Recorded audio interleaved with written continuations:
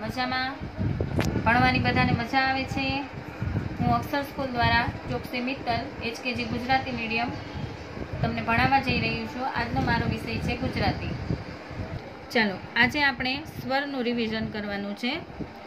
સ્વરનું revision તો સૌથી પહેલાં આપણે અ, અજગરનો અ, આ આગાડીનો આ ઈ ઈયળનો ઈ ઈ ઈસનો ઈ, ઉ ઉનનો ઉ ઉ ઉતરડનો ઉ ઋષિ ઋષિનો રુ, એ એરણનો એ, ઐ ઐરાવતનો ઐ, ઓ ઓસિકાનો ઓ, ઔ ઔષધનો ઔ, અમ અંબાડીનો અમ, અને અહ, આ છે સ્વર.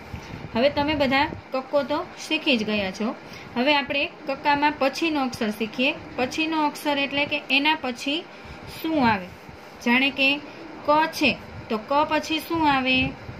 તો કે ખ. એ જ રીતના હું પૂછું, ઘ ઘરનો ઘ, તો ઘ પછી શું આવે? તો કે ચકલીનો ચ. ટ ટપાલીનો ટ. ટપાલીનો ટ છે, તો એના પછી શું આવે? ઠળિયાનો ઠ. હું પૂછું છું, હણફેણનો હણ હણ પછી શું આવે? ત, તલવારનો ત. ધજાનો ધ છે, ધજાના ધ પછી શું આવે? નગારાનો ન. ભમેડાનો ભ છે, તો ભમેડાના ભ પછી શું આવે? મરચાનો મ. વહાણનો વ છે, તો એના પછી શું આવે? મીંડાવાળું શ ક્ષત્રિયનો ક્ષ, તો એના પછી શું આવે? જ્ઞાનીનો જ્ઞ. આપણે રિવિઝન કર્યું કે પછીનો અક્ષર કોને કહેવાય? શું આવે એના પછી? હવે આપણે કક્કો તો તમને બધાને આવડે જ છે, તો આપણે શબ્દ વાંચવાના છે. સાદા શબ્દો વાંચવાના છે. સાદા શબ્દ એટલે કે શબ્દ હું કહું છું, જો આમે શું લખ્યું? ક અને બાજુમાં શું લખ્યું? પ.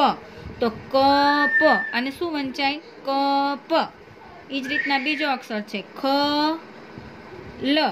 તો ખ અને લ. તો ભેગું વા કરીને વાંચવાનું. તો ખ, લ. એ જ રીતના ગ અને ઢ ઢગલાનો ઢ.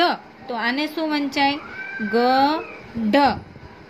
હવે હું લખું છું ઘ અને રમકડાનો ર. તો આને ભેગો કરીને શું વંચાય? ઘરનો ઘ, રમકડાનો ર. પછી હું લખું છું ચ અને હણ. તો આને વંચાય ચ, હણ. આ થયા બે અક્ષરના શબ્દ. હવે આપણે ત્રણ અક્ષરના શબ્દ કરીએ છીએ.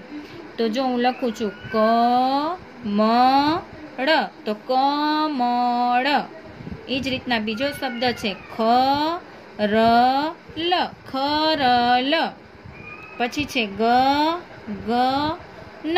તો ગ ગ, ન. એ જ રીતના લખું છું. ચ, મ, ક. તો વાંચવાનું ચ, મ, ક.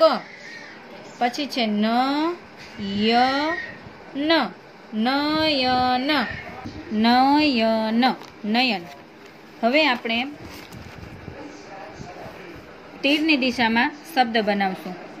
તીરની દિશામાં બનતા શબ્દો.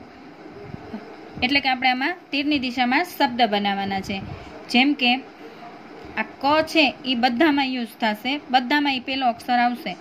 હવે જો હું આમ લખું છું તો આ શબ્દ બનશે પહેલાં ક લેવાનો, પછી મ અને અળ.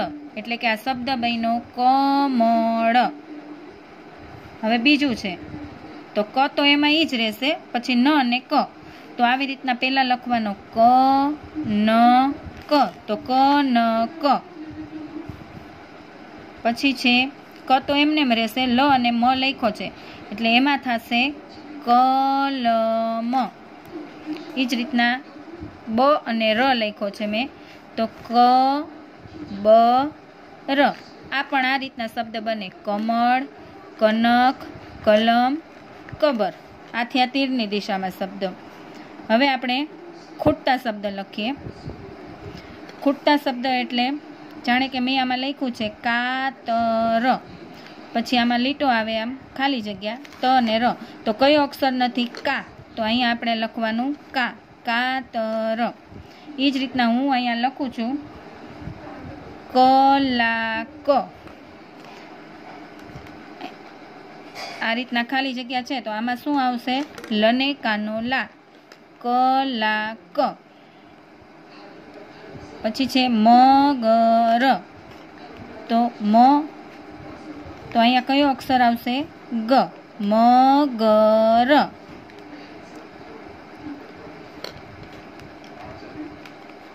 અહીંયા મેં લખ્યું છે પ અને વ. તો અહીંયા કયો અક્ષર નથી? ન પ વ ન આ પણ શબ્દ જ કહેવાય. કાતર, કલાક, મગર, પવન. આ રીતના આપણે આજે આટલું રાખીએ છીએ. હવેનું આપણે નેક્સ્ટ પીરિયડમાં જોશું.